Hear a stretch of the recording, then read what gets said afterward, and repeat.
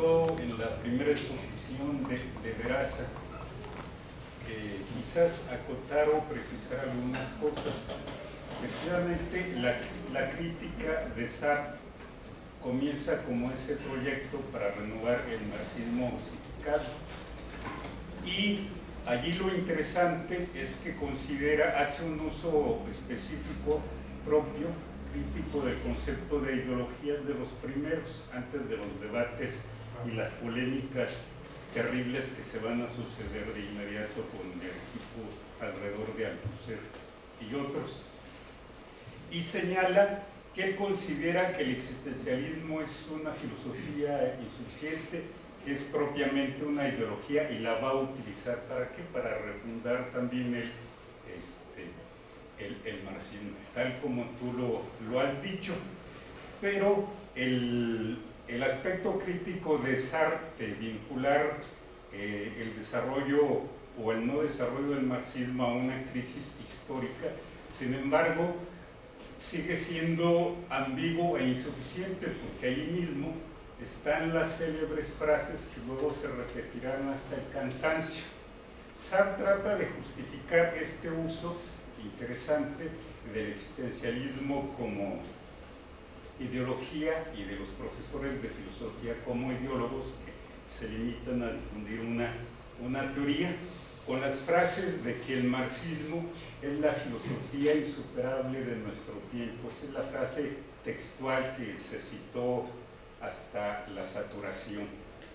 Y, pero no es, no es un argumento trivial en Sartre, por supuesto. Él lo vincula a una idea propia que tiene del desarrollo de la filosofía es decir, las grandes filosofías históricas efectivamente eh, fenecen o mueren, dejan de tener significación histórica, política mundial, cuando su momento histórico ya ha terminado.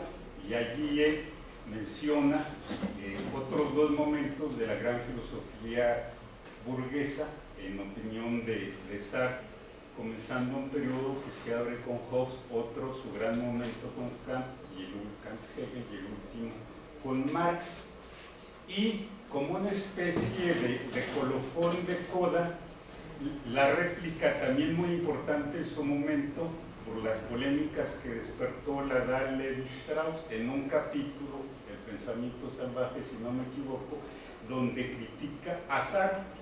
Y Levi Strauss dice que él también quiere contribuir a una teoría y a un desarrollo de la teoría marxista de las ideologías.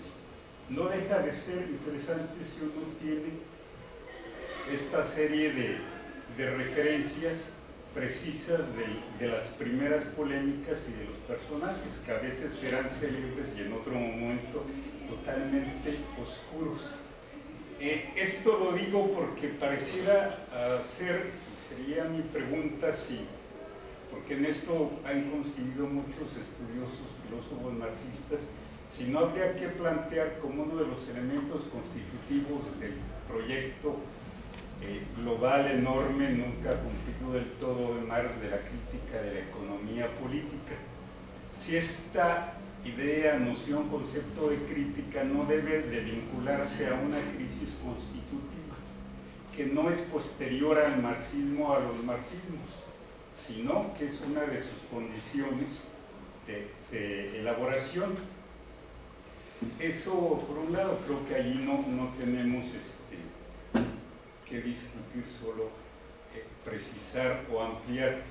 El otro punto que me parece interesante es que en los que han hablado previamente escucho nociones y demás que a mí me parecen como lastres, expresiones textuales recuperar el proyecto de la crítica la economía política, la distinción entre valor de uso, valor de cambio. Bueno, no hay que recuperar nada, es el deslinde que Marx hace en el Capital y explica por qué no va a trabajar todo lo que se pueda alrededor de la noción de valor de uso.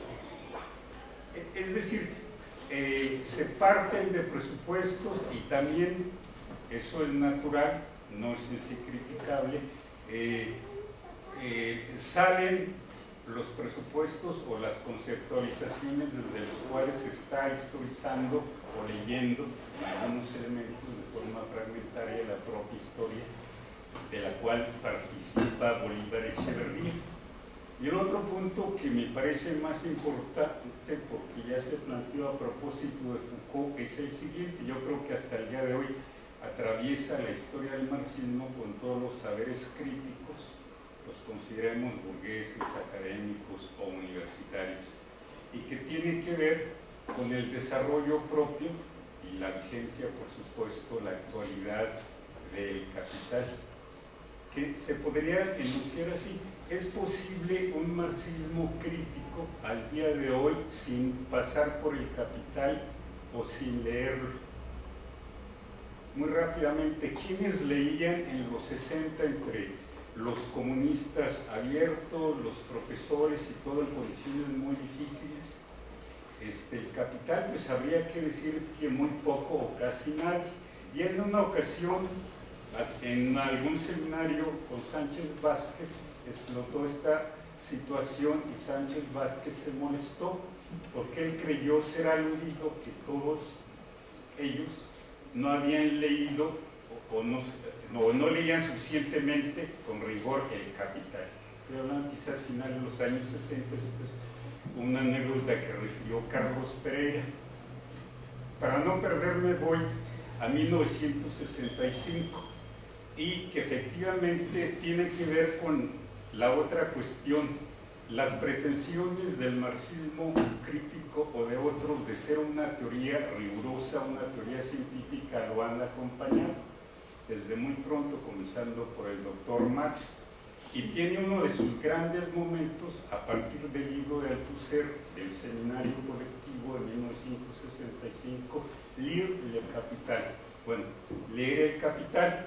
Aquí voy con el eh, comentario que tú nos referiste acerca de Bolívar sobre este proyecto, que ahí yo diría que sí es una especie de defecto muy explicable que los ámbitos del marxismo académico universitario a veces no se hiciera una crítica abierta, fundada, con los textos en la mano, argumentada y yo siempre he tenido la impresión de que en el caso de Echeverría hay una especie más que de ironía, de insidia y no de crítica abierta con respecto a los planteamientos de Althusser.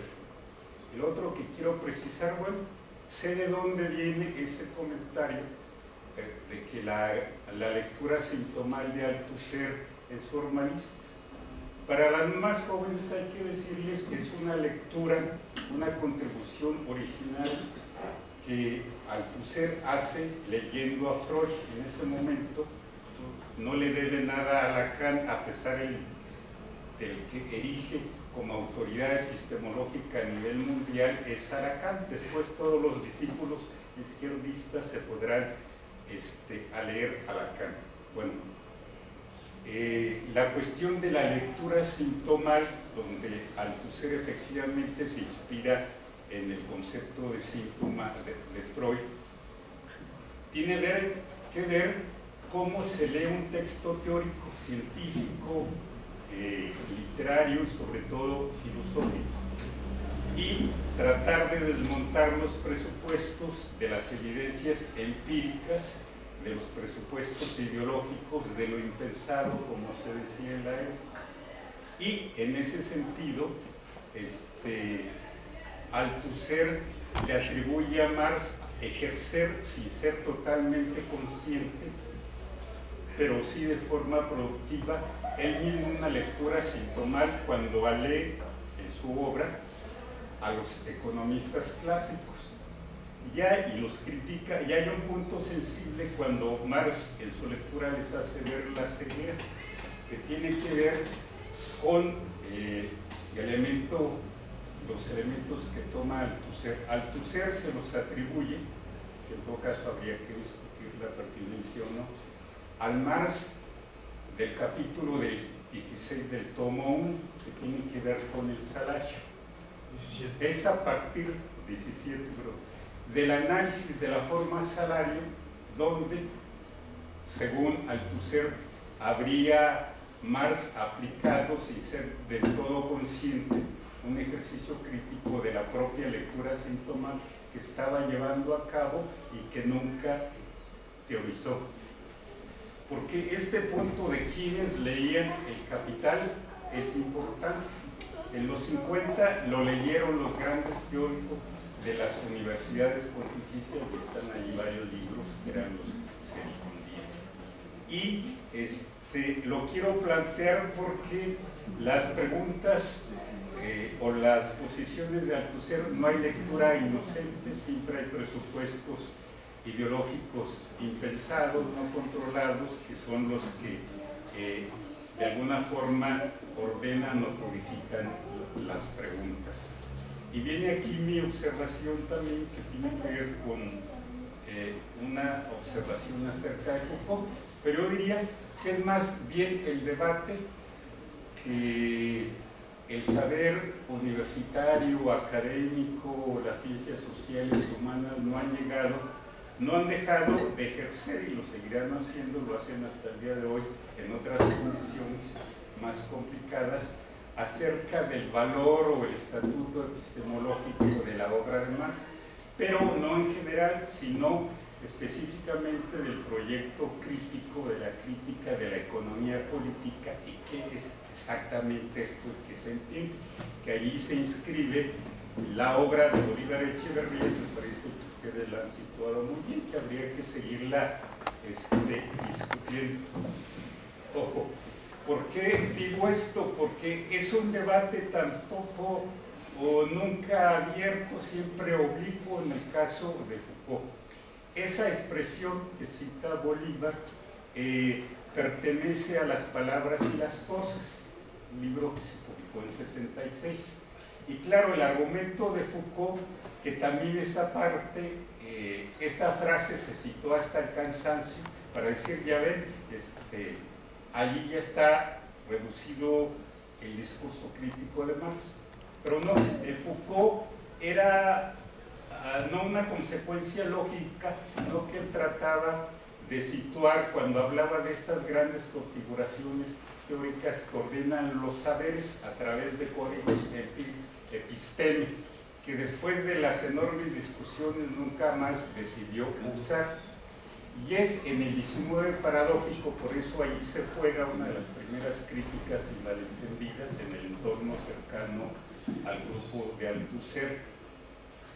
Eh, según Foucault, la episteme en el umbral de la modernidad eh, se caracteriza por la emergencia de la historia.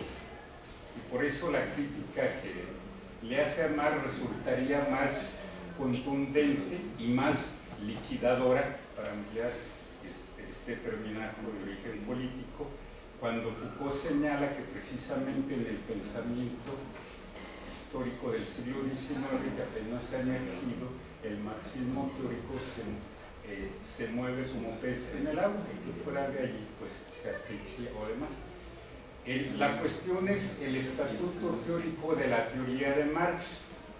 Le remito un comentario que hacía un filósofo de la época que respondía muy bien, Badiou, dice muy rápidamente, bueno, hay luego que analizar esta ligereza preteórica de Foucault contra el discurso de Marx. Y dice algo para que vean los términos y esto es lo que me parece decisivo Dice, y hay que recalcar la impotencia teórica de Foucault para pensar la distinción entre ciencia y no ciencia.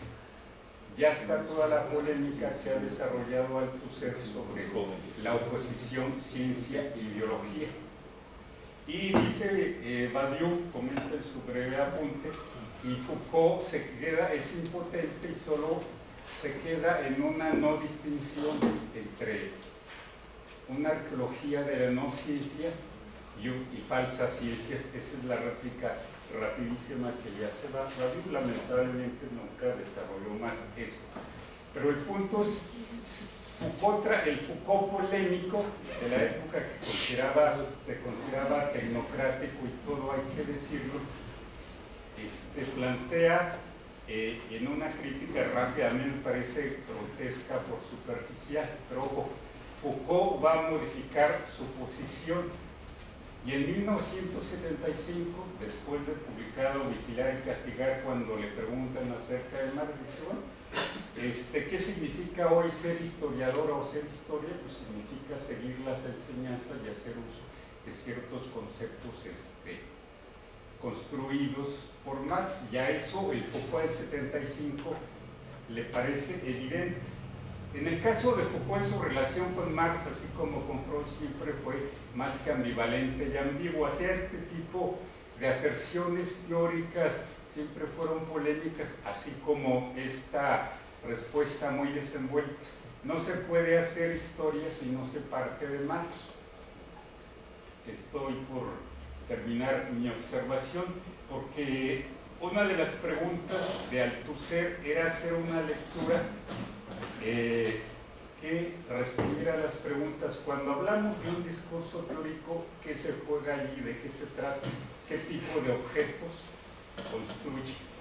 Y por eso se plantea las discusiones, él no las analiza detenidamente, ya habla, bueno, hay una lectura predominantemente economicista del capital, lee un texto de teoría económica, ya hay una lectura empirista, historicista, que considera que el capital es un texto este, inconcluso de historia empírica.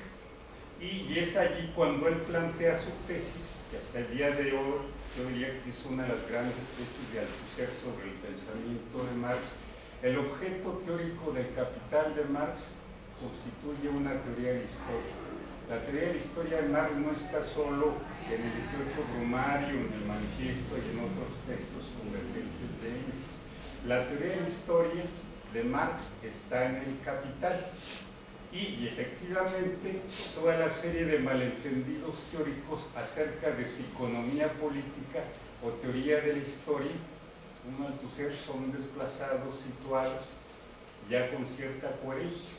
Y eh, es uno también de las tesis importantes que él deriva de la lectura del Capital, que yo diría que esto es un trabajo aún por hacer, porque la mayoría de las respuestas teóricas sobre qué constituye el capital y cuál es su objeto, los filósofos marxistas, algunos lo han dejado de ser, desde entonces no han dejado de medirse y de polemizar desde diferentes concepciones este, acerca de este asunto y atribuyéndole uh, y ejerciendo cierta idea de la filosofía de Marx y de su discurso filosófico materialista, que es otro problema bastante este, difícil de plantear. Pero sí me gustaría precisar, incluso yo daría en otro momento, se puede discutir eh, en qué universidades, en qué círculos comunistas, marxistas, radicales se leía el capital. Esto es muy importante y por supuesto esto vale para nuestro país y para América Latina. Por ejemplo, en Francia, para terminar, ¿quiénes habían leído el capital antes que el grupo Althusser? Bueno, pues un joven filósofo que luego se fue a, la etnología Maurice Godeli ya a finales de los 50 había publicado un par de artículos sobre, muy importantes y muy densos sobre el método del capital.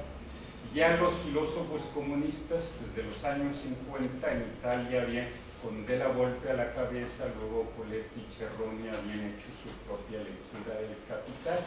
Y un poquito después vendrían los jóvenes radicales de Antonio Negri, que hacen una lectura directamente política, la llaman ellos, del capital, porque además tiene que ver, y la ven contemporánea, con las luchas fabriles y estudiantiles. Es decir, hay una serie de antecedentes precisos que se pueden ubicar a la distancia acerca de las lecturas que se hacían del capital en los círculos políticos, en las academias y en los pocos lugares de las universidades este, que se podía acceder o que se permitía enseñar este, el, marxismo. Y yo diría que es allí donde se inscribe el proyecto crítico de Bolívar Echeverría. Pero esta eh, yo encuentro, y es una expresión personal mía cuando le leí uno de sus ensayos sobre Benjamin, ironiza a propósito de Kautsky y de Althusser, señalando que son los autores, para Bolívar positivistas, que siguen clavados o que han intentado desarrollar la teoría o conseguir la teoría de Marx ante todo como una teoría científica. Y termino con alguien para que vean que quizá no ande tan desencajado, lo cuenta Gandhi cuando dice que Bolívar Echeverría, viendo la difusión en los ámbitos académicos del grupo Althusser, que fue también este, muy polémica, muy sorda y no explícitamente abierta al comienzo, hizo traducir y publicar en cuadernos políticos un artículo de Habermas para contrarrestar. Y si uno ve eh, qué plantea allí Habermas sobre la reconstrucción del materialismo histórico y a dónde lo conduce, no deja de ser irónico, pero eso se vuelve contra el comentario de Echeverría. En fin, eh, yo diría que se, se sitúa en este ámbito de discusión pública eh, planteamientos convergentes, semejantes o contradictorios de esta tradición crítica que se reclama de Marx. Después de todo, si yo les enumerara los marxismos críticos que se reclaman de Marx, son muchos y son importantes, se conozcan este, o no. Y eh, ese punto de la lectura del capital, pues ustedes saben algo más preciso, tiene una serie de problemas eh, teóricos muy difíciles que ya en primer lugar habían atrapado al propio Marx que tiene que ver con la noción de teoría. Y, y que efectivamente lo que Marx llamaba el punto de partida, por ejemplo es algo que retoma Bolívar, viene de Hegel y en Hegel se lo plantea así, con qué debe comenzar un discurso que se pretende científico. Y está en uno de sus libros más abstrusos y difíciles, La ciencia de la lógica. Y eso se ha retomado de, diferentes este, formas.